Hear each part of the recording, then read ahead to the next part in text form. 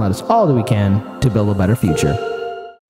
This is breaking news that just happened right now. And I have to say, I am absolutely A OK with how this has turned out because the attacks on Donald Trump, and I want to be very clear here. I say this not as a Trump supporter, but as somebody who's talked to and interviewed candidates who are third party, who are ran as libertarians, greens, or socialists, or independent, who have been kicked off the ballot or these or that had to fight tooth and nail just to secure their ability to be back on the ballot in whatever state that they were in. Now, Hard Lens Media, we have a long history of interviewing third parties and independent candidates who were pushed aside, kicked off the ballot by both Democratic and Republican politicians. Now, why is it significant? Because Hard Lens Media, we believe in being consistent. And the attacks on Donald Trump, especially with him being kicked off the ballot here in Col- not only in Colorado, but even potentially here in my home state of Illinois, are wrong. Democrats, if you want to face off against Trump, you're going to have to debate him. You're going to have to face him. And the Supreme Court just recently ruled in favor that Trump cannot be kicked off the Colorado ballot. So, you know what that means? Even though it's early in the morning right now, oh, you better believe I'm going to be watching and observing MSNBC later today. The Rachel Maddow meltdown will be magnifique. It will be just so delicious and beautiful. It's it's it's it's it's going to be like a perfect service in Hell's Kitchen, right? There you go. Perfect service. And yes, there have been a few episodes of Hell's Kitchen where they had a perfect service and it was just like Ra- Ramsay didn't need to raise his voice at all. And I I I am hoping shout out to you case study QB. I'm I'm I'm I'm gonna charge you with the task of looking for some of those juicy morsels, man, cuz you you, you got to believe that Rachel Maddow's going to be having a meltdown after this. Hey, don't believe me? Look at the shocked look on MSNBC right now. no, I didn't pause it. No, I didn't pause it. But this is the face of every single vote blue, no matter who liberal in America. Like, Trump's on the ballot still in Colorado. Oh no. See, see, I told you vote blue no matter who. You better hope that Donald Trump doesn't win any of his legal battles. And now he's won this one right here. Ah, goodness gracious, Cretaceous. This is going to be beautiful. All right. We just got the breaking news. Thank you for being with us here on MSNBC. The Supreme Court issuing a ruling on the Colorado ballot case. I want to go straight to Ken Dilanian, who is outside the Supreme Court with this decision. Ken, what do we know? Good morning, Anna. We've learned that it was a nine to nothing decision ruling that Donald Trump.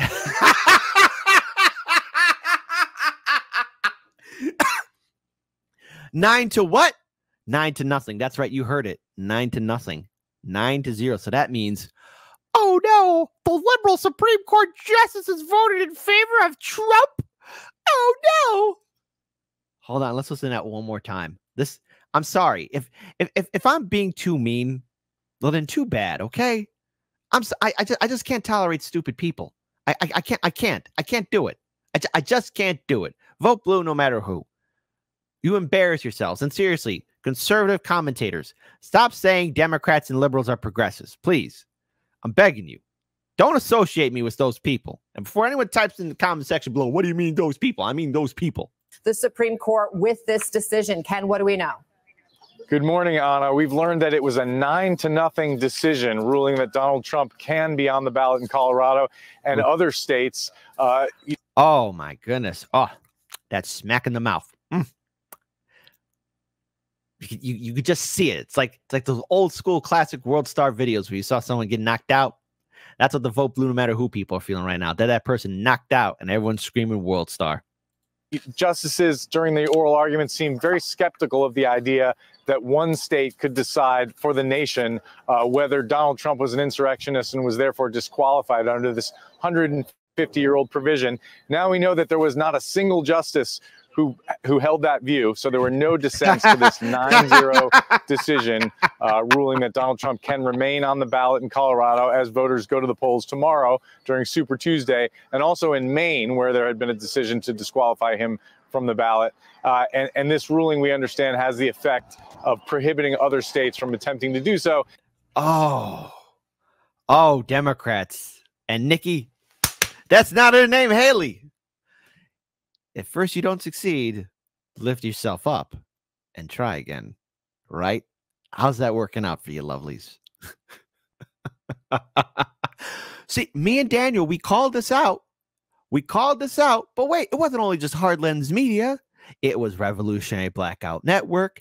It was the Jimmy Dore Show. It was Indie News Network. It was Due Dissidence. And hey, you know what? Just like those, just like those old uh 70s shows that you know when they did like those um what's it, those variety hour shows, like, hey, even you at home can join in. That's right. Even all you beautiful people watching Hard Lens Media right now in the morning, even you. Hold on. You know what? Wait. To do this properly, to do this properly. Hold on. Oops. Hold on. To do this properly. Let me just remove this here. even you at home called this out. Well done, audience. Well done indeed. Oh, nine to zip. Oh, oh my God. you know I'm gonna be talking about the Rachel Maddow meltdown tomorrow. You know I'm going to. You know I got to. Let me rewind this just a little bit. And also in Maine, where there had been a decision to disqualify him from the ballot.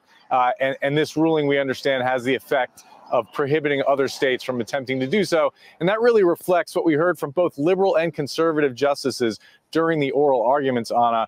Uh, it, for example, Elena Kagan confronting uh, the, the plaintiffs, essentially saying, Your problem here is that you're arguing that one state can decide for the nation who can be president. And no justice was willing to go along with that. Oh, oh, up the wazoo. Hold on, I got to hear that again.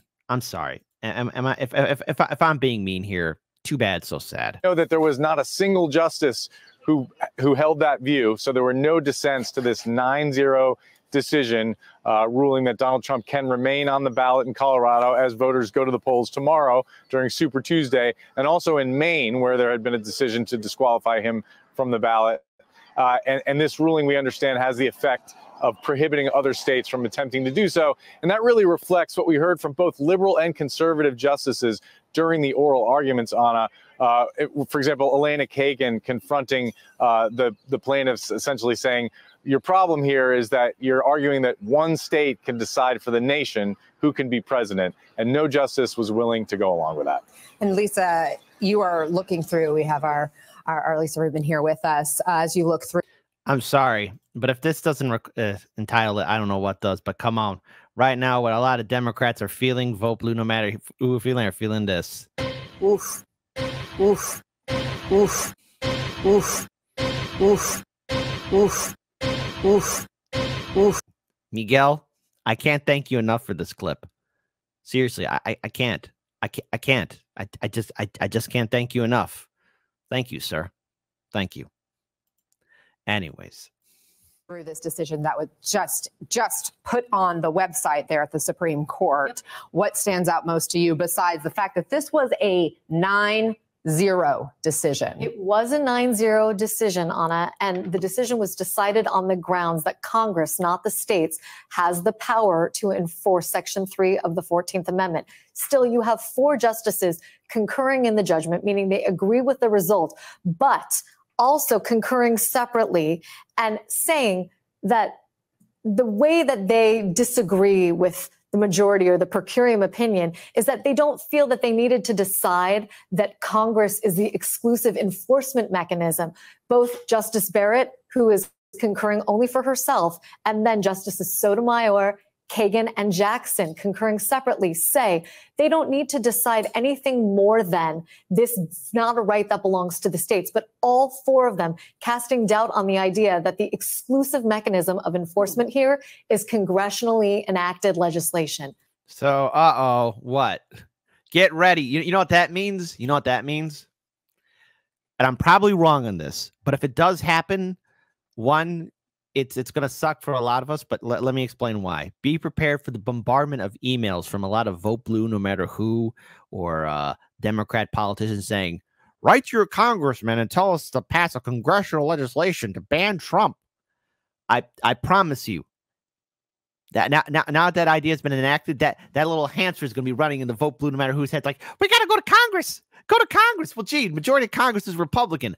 I wonder. I wonder You think they're going to go ahead and do that? Those those Republican politicians, you think they're actually going to do everything like, oh yeah, we got to stop Trump? No, no, they're not. But we're gonna bombard with emails. We're gonna we're gonna hear this, and I'm willing to bet, like Rachel Maddow's gonna say, we got to go to Congress now. We got to go to Congress now. Congress, it's up to you. Republican politicians, it's up to you. Like they're gonna be pleading to Republican politicians. I'm like, get the. You know what? And if it doesn't happen, great. I was wrong. But if it does happen, I'm I'm I'm probably going to be immature and laugh at them. That's important because one other way that you could find that someone is disqualified is through, for example, a federal court ruling. Or you could find that someone is an insurrectionist through their criminal. Um, through criminal liability. So there are a number of different ways that I think these justices are raising Section 3 could have been enforced. And yet the per curiam decision says not only does the power not belong to the states, you have to have Congress act affirmatively in order to disqualify someone from the ballot. Ah, I'm sorry. One more time. Oof. Oof. Oof. Oof. I'm sorry, man. Ah, Supreme Court hands Trump victory in Colorado 14th Amendment ballot ch- uh, challenge. Oh, right there. Right there. This is funny. This is funny. This, this is funny. Okay. So, as we all know, the Supreme Court unanimously ruled Colorado cannot disqualify former President Donald Trump from the ballot under the 14th Amendment insurrection ban, a historic decision that preserves Trump's ability to seek a second presidential term. Monday's unsigned decision effectively ends the long shot efforts that aim to prevent Trump from returning to the White House, handing a monumental legal victory to the former president on the eve of Super Tuesday, when he is poised to close uh, to close in on clinching the Republican nomination. By the way, just just so y'all know, apparently Nikki Haley, that's not her name, won the DC primary. So, okay, she won something. Voters and advocacy groups had filed dozens of challenges to Trump's ballot eligibility in states across the country, claiming his actions surrounding, you guessed it, January 6, 2021 Capitol attack triggered his disqualification. Jesus Christ, I am tired of January 6th, okay? I'm tired of it. The High Court instead sided with Trump by ruling a singular state has no unilateral authority to enforce the 14th Amendment to disqualify federal candidates. Liberals, you're throwing shite at the wall and seeing what could stick. I got to tell you that that that little image of Trump on the Hill holding an axe as a bunch of liberals are watching Rachel Maddow foam in the mouth the TV on a dark and stormy night. It's it's playing out, you know. It's it's so great. Oh, it's beautiful. It's so beautiful. So what can we so so what can we take away from this? What what can we take away from this? Well, first of all, liberals are going to do everything they can to try and disqualify Trump. Now, we know that Trump is dealing with a lot of legal issues. There's um, of course, the situation in Georgia, which I think is also going to be ruling in Trump's favor. Uh, there are so many people that are trying to bankrupt Trump, but I don't think that's even going to stick as well. They're, they're, trying everything they can because so many people in the vote blue no matter who crowd are emotionally triggered by Donald Trump. And what I mean by this is that Trump, his actions and the way he speaks triggers something in the vote blue no matter who mindset because secretly they're just like him. They're just better at hiding it. You see, Trump is able to make people act in an inappropriate manner that's detrimental to their mindset, their health, their body. And the thing is, a lot of vote blue no matter who organizations, progressive groups that are afraid of Trump fall into this trap of trying to fight him and losing. Because no matter what, Trump is the master at media. He's the master of even making fun of himself. And every time the liberals try and get him, he's able to crawl out of their trap it never works. It never succeeds because we cannot forget the debates between him and Hillary Clinton. Remember, Dave Chappelle did a great stand up opening on SNL a long time ago when he recounted a tale of the debate between Hillary Clinton and Trump when Trump was talking about the system being corrupt and the moderator saying, Well, how do you know it's corrupt? Because Trump said he used it. So he knows how the neoliberal system is set up because who set up the neoliberal system? People like the Clintons, the Kennedys, the Bushes, the Mitch McConnells, the Nancy Pelosi's, the Democratic and Republican politicians, the dynastic families that work for their corporate donors. And Trump, being who he was, was able to manipulate and walk through and understand all the loopholes to survive and thrive. You think they're really going to get him? Same thing with the taxes, too. They're never going to do anything about taxes uh, to hold a top 1% accountable because that means these rich politicians have to pay taxes too. So, all this fear mongering about Trump, all it did for him right now, especially with this legal victory, is give a boost to his numbers. And dare I say it, since this happened today, if this doesn't inspire enthusiasm amongst Trump supporters to turn out to vote for him on the Super Tuesday primary, then I don't know what does, because this shows, for without a shadow of a doubt, that not only has Trump beat this system or beat the system that the liberals were trying to put on him, but also shows that he has a very good chance of securing the Republican nomination. This is truly inevitable. There's nothing that the RNC can do. Now, don't get me wrong. I'm willing. I'm willing to bet that the uh, establishment will try everything they can to get Trump off the ballot. Now, now, this doesn't make Trump a hero at all. No, but this does show that at this point in time, anyone that was anti-Trump or has suffers from Trump derangement syndrome is going to be taking a massive L. And I'm just looking forward to MSNBC tonight. I, I, I just gotta wonder just what the meltdown is going to look like, the Rachel Maddow meltdown, because she's going to be like, "This is it. This is the end of democracy." What democracy are you talking about? It's been sold a long time ago, to quote Jimmy Dore.